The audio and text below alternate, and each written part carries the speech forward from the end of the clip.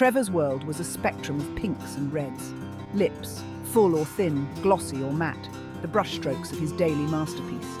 A lip fetishist, he'd come to terms with that label years ago. But the mundane rhythm of his life, punctuated by the same faces on the same train, had dulled the vibrancy of his obsession.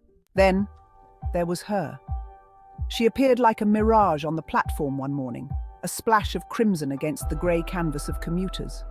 Her lips were the kind that drew eyes, full and inviting, a shade of red that hinted at both danger and desire. Trevor was instantly captivated, his heart pounding a staccato rhythm against his ribs. Their encounters were brief, stolen moments in the confines of a metal carriage. He'd watch her as she read, the curve of her lips turning up in a silent smile, or when she'd talk, her lips moving with an almost hypnotic grace.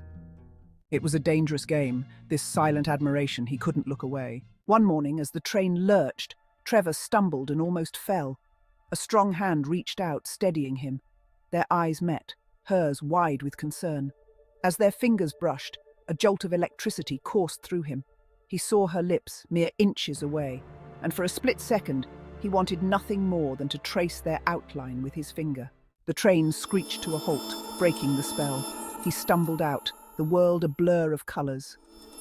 As he turned to look back, she was gone, disappearing into the crowd like a phantom. But the memory of her lips, soft and warm in his imagination, stayed with him, a vibrant hue in the otherwise monochromatic palette of his life.